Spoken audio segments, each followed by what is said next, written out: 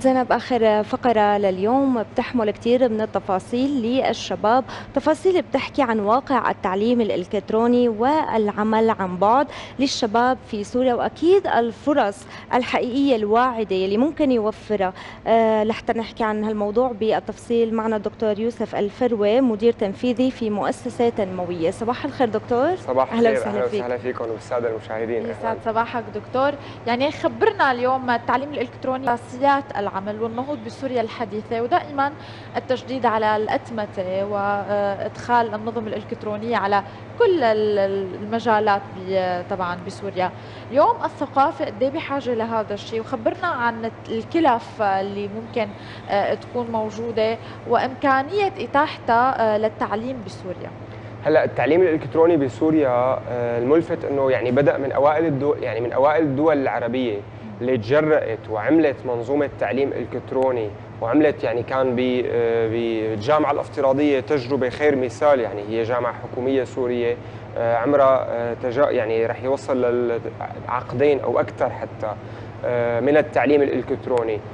طبعا الكلف يعني لفت لفتة كثير مهمة. سؤالك إنه فعلا الكلف تكاد تكون يعني شبه مجانية يعني جامعة كثير معتمدة إلى كثير قوة إلى كثير حضور بالعالم وبنفس الوقت آه، هي آه، من أرخص الأشياء. يعني هلأ أنا بقول دائما للشباب والصبايا يعني بالجو أحيانا اللي عم بيكون سلبي المشحونين فيه بسبب الظرف اللي عم نعيش فيه. طب أنت قدامك فرصة تعلم شبه مجانية بجامعات كثير قوية. يعني الجامعة الأفتراضية السورية مثلا ما بتمنعك عن آه، انك تكمل آه، عملك. شو ما كان عملك لأنه انت بالنهاية غير محكوم لا بالمكان ولا بالزمان. انت قدران ضمن قيدي المكان والزمان تضل عم تتعلم تضل عم تنتج علميا.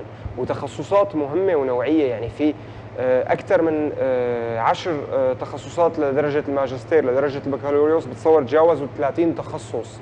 طبعا وفي دكتوراه وفي آه، هلأ مجموعة يعني آه، التخصصات الجديدة بالدكتوراه عم تفتتح تباعا. ففعلا المجال مفتوح. طبعا هلأ الشق الثاني للتعليم الإلكتروني اني أنا بسوريا آفاق التعليم الإلكتروني الي مو محدودة فقط بجامعة سورية. يعني مثلا نحن بمؤسسة آه، تقدم تعليم إلكتروني لناس حتى خارج سوريا. يعني آه، فالأولى إنه آه، يعني أهل البلد يتعرفوا على هي المنظومة. يعني الناس الموجودين بباقي المحافظات السورية. طب في بعض الدورات التدريبية ما لها موجودة غير بدمشق.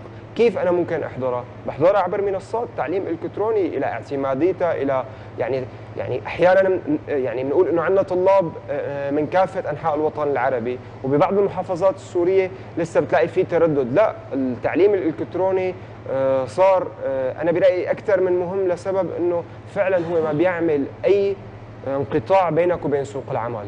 انت قدران من اللحظة اللي آه، بتبلش فيها جامعة تكون مبلش بسوق العمل. أنا هون كنت أسألك دكتور إنه اليوم مع هذا التطور الكبير اللي عم بيصير بكل أنحاء العالم واللي أكيد سوريا لها حصة منه قد إيه مهم التعليم الإلكتروني بهذا التطور الموجود بسوريا؟ إذا بدنا نقول من حيث إعادة الأعمار من حيث دعم الشباب من حيث فرص العمل من حيث الشهادات الجامعية من كل النواحي. يعني هلأ مثلا آه، آه، رجع الحديث عن موضوع انعاش المناطق الصناعية بسوريا. طيب الكوادر الموجوده بالمناطق الصناعية سواء بدها تعليم مهني أو تعليم آه، أكاديمي. آه، هي موجودة بأماكن لا يتوفر فيها جامعات أو جامعات قريبة أو طبيعة العمل بتخلي هي الكوادر يعني مستنفرة لصالح العملية الإنتاجية.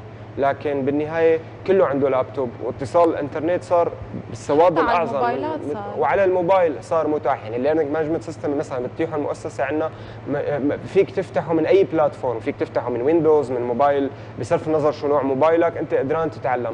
كذلك الأمر بالنسبة للشيء اللي بتتيحه الجامعات الحكومية السورية اللي عم تقدم خدمة تعليم إلكتروني. طبعا يضاف إلى ذلك هلأ مثل ما قلنا آه، في جزء آه، منيح من الطلاب السوريين انتبهوا على فكرة إنه إيه في تضييق علينا كسوريين ما عم يخلونا نطلع بس أنا قدران أتعلم أونلاين يعني قدران اخذ شهادة من بريطانيا باعتمادية عالية جدا وأنا هون. شهادة إلها accreditation إلها قبول برا. يعني أنا إذا بطلع فيها على هي الشيء اللي بيخوف يمكن زينب أغلب الشباب إنه هي الشهادة هل هي معترفة مثل ما بنقول؟ هل هي مقبولة؟ هل هي ممكن نلاقي فيها فرص عمل حقيقية في حال الشخص درس عن بعد مثل ما بنقول وتعلم بيقدر يشتغل بهي الشهادة؟ والله هو فرصة العمل الحقيقية دائما بتجي للمؤهل بشكل حقيقي. يعني الناجح هو يصنع الفرصة أما الفرصة ما بتعمل ناجح. الناجحين لحال الأعمال بتدور عليهم.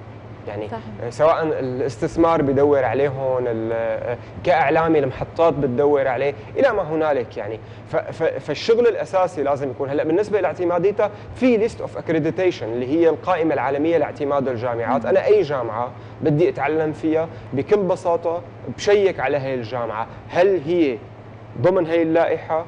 بسأل عن الاعتماديات اللي عندها إياها هي الجامعة، تصنيف هي الجامعة، قبولها العالمي، فهذا أمر بسيط ما عاد أمر صعب، يعني أمر على الإنترنت بلحظات فيك تتأكد من تاريخ وسمعه ومصداقية واعتمادية هذه الشهادة أو هذه الجامعة. نعم.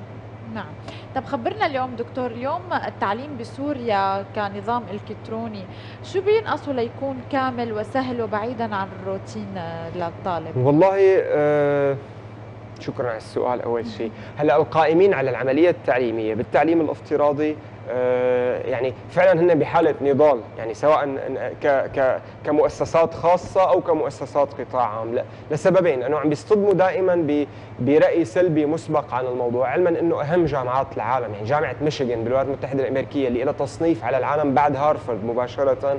هي صارت تعليم إلكتروني. اوكسفورد حولت جزء كبير من مناهجها ومن تخصصاتها لاونلاين آه، بالكامل بالكامل. يعني أنا عم بدرس باوكسفورد صرت أونلاين لو كنت ببريطانيا. نعم. آه اللي عم بيواجه أحيانا في بعض الناس اللي عندها دائما تشكك اللي عندها آه للأسف طبعا هدول موجودين بال بال بالجو الأكاديمي. إنه آه، آه، لا الشهادة علما إنه هلأ التعليم الإلكتروني في مخابر افتراضية. يعني أنا فيني أعمل كثير من التجارب اللي ممكن تنعمل بالفيزياء بالمدارس صرت قدران أعملها أونلاين أعملها على simulators محاكيات. صرت قدران يعني موضوع التشريح لطلاب الطب مثلا. هذا أكثر شيء كان إنه صعب. صار في هلأ شيء إلكتروني بخليك كأنك عم بتفوت بجسم الإنسان. يعني هي أمثلة فقط لتبيان وين وصل التعليم الإلكتروني. شو شو الإمكانيات اللي بين إيديه للتعليم الإلكتروني. صارت العملية من ألف إلى ياء من تسجيل الطالب لدفعه لوظائفه لامتحاناته. بالكامل عم بتتم عن بعد. آه، يعني أضف إلى ذلك إنه آه، آه، بعض التخصصات اللي بتيحها التعليم الافتراضي آه، غالبا بتروح أكثر لأنها تكون تأهيل وتخصص يعني تأهيلية يعني زيادة تأهيل أو تمكين الإنسان في تخصص ما أكثر ما تروح باتجاه الشيء البحثي الأكاديمي.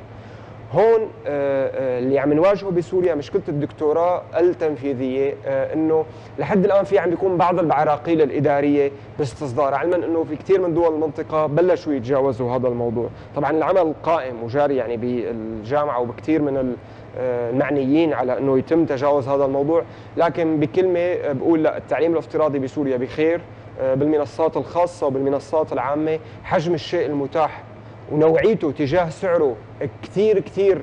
النوعية عالية مقابل السعر وحتى النوعية آه، مقارنة بكثير من الجامعات الموجودة بالمنطقة وبالعالم بما يخص التعليم الافتراضي هي نوعية عالية.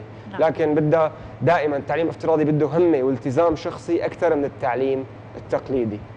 يعني دكتور يوسف فينا نقول هناك يمكن سلبيات ممكن أنت تشوفها بهذا التعليم أو لا؟ أنت راضي بشكل كامل عن هذا التعليم ونتائجه هلا ما ما بصير نرضى بشكل كامل مهما كانت النتائج تبعه لكن آه، آه، من حيث إدارة العملية التعليمية ما عندي آه، ملاحظات بحسها جو يعني جوهرية.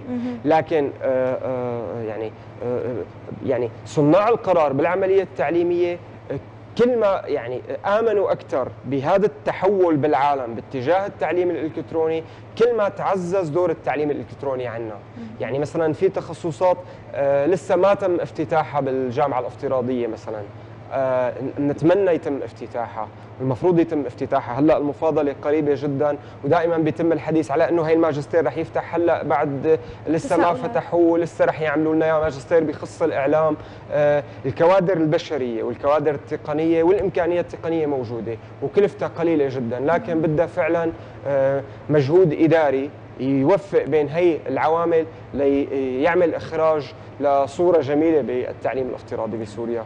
نعم. دكتور يعني اليوم قد إيه النظام الإلكتروني والتطور الإلكتروني؟ آه طبعا لهم دور كبير بالنهضة بسوريا بالمرحلة المقبلة. قد إيه عم تلمس اليوم تطور سنة عن سنة بالنظام التعليمي الإلكتروني؟ هل هناك تطور أو في ركود شيئا ما بهذا الشيء؟ يعني هلا مثلا على سبيل المثال هي آه، التعليم الإلكتروني يعني, يعني إحنا بلد منتج شعب منتج يعني عاده هلا يعني يتم الحديث دائما عن اعاده العملية الإنتاجية لأنه ما يمكن إنتاجه بسوريا يمكن إنتاجه بسبب الهمة ووفرة الخيرات بتكاليف أقل من الخارج. جزء من المنتجات اللي ممكن نحن نصدرها للخارج هو قبول الطلاب بتعليم إلكتروني يعني مثلا مؤسسة التنمية عندها طلاب خارج سوريا عدد منيح يعني في كثير ناس عم تجي لعنا عم تطلب تعليم ودورات إذا بدها تطلع آه، آه، تعملها برا بدولها رح تحط كلف هائله حتى قياسا بمداخيل برا. هون عم تعملها بمنصة سورية مع أساتذة سوريين بتقانات سورية بمعرفة سورية بجهد سوري بفيز كثير رخيصة بكلف كثير رخيصة وبنوعيه عالية. هذا الموضوع هو سبب دخل هو سبب خير بي بي بيدخل على البلد يعني قطع بيدخل على البلد. هي واحد اثنين موضوع العمل الإلكتروني وليس فقط التعليم. هلأ هذا نوع من من العمل الإلكتروني لأنه هي المنصة عم نشغلها نحن وعم نديرها نحن بجهودنا وعم نعلم الناس برا من خلالها طيب البعد الآخر إنه في كثير من التخصصات مثل هندسه المعلوماتية آه، التخصصات البرمجية يعني عندنا جيوش من المبرمجين بسوريا. بيقدر هذا يشتغل أونلاين؟ يعني بيكون هون وبيشتغل أونلاين.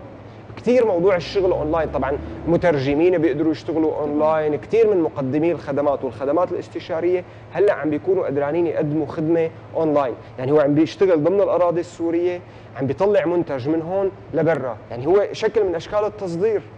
واللي رأس ماله كثير بسيط ورأس ماله فكري بشري فقط يعني ما في رأس مال مادي. جيد كمان بالنسبة طبعا مدخوله جيد للبلد وللشباب. تمام. وعادة الشباب آه، آه، شكرا لك. الشباب عادة اللي عم بيشتغلوا بهذا القطاع بتلاقي إنه استطاعوا آه، أحيانا بعدد ساعات عمل أقل أو بجهد أقل يوفروا مداخيل أعلى وحياة مم. أفضل. لكن شجاعة. مهمة إنه نحن اليوم كثير من الشباب يمكن عم يدوروا على أكثر من فرصة عمل. فلما بيكون التعليم العمل الإلكتروني موجود بالإضافة لعمله ممكن يكون الأساسي. فهذا الشيء بيعطيه يمكن مدخول جيد وبيحقق له فرص العمل اللي هو عم يبحث عنها بدون ما ينزل ويدور ومواصلات ووقت أطول يمكن. طبعا حتى بي بيخليه جزء من يعني من ال international business environment يعني هو بصير جزء من بيئة العمل العالمية. يعني أنا بالنهاية لما بشتغل اونلاين عم بشتغل مع ناس من الهند مع ناس من الصين آه، مع خبراء ألمان.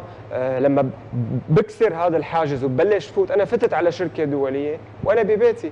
أو أنا مهارات آه بالكافيه أنا عم آه، بمشوار يعني وأنا قدران تابع أعمالي تابع التزاماتي وبكون حتى في هامش للشيء الإبداعي أكبر. لأنه أحيانا القيد والروتين بنفس المكان العمل بنفس ال ال الوجوه بنفس بنفس. أحيانا بيعمل هيك نوع من جمود.